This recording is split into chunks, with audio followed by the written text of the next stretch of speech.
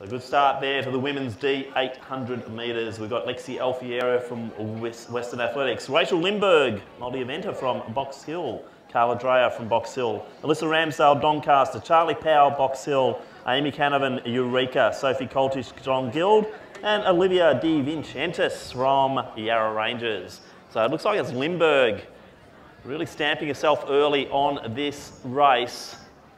That might be one of the Geelong Guild girls going next. So actually there's a pile of Box Hill in this race. We'll try and get a fix on them as they come through. But Rachel Lindberg leading this.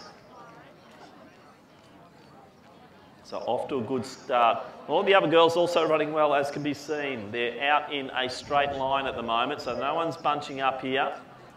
Breeze still relatively strong coming into the home straight at the moment as the clock approaches 60 seconds. Yep.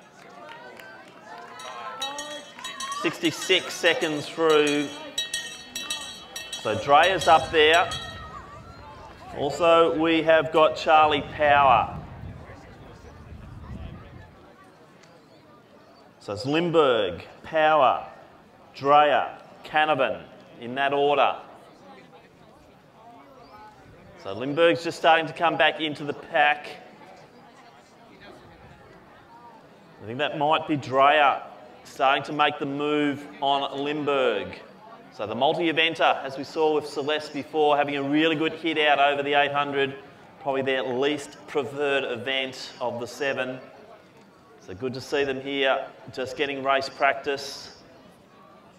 And gee, good move here. We'll try and pick up who it is. It could be Canavan.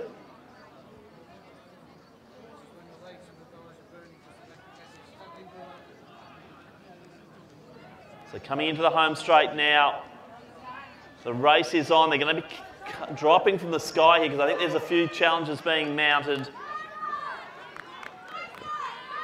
So it's Charlie Powell leading it. Canavan will be in second position, I think. So, so that was Coltish dropping in, but it was Charlie Power taking that one out.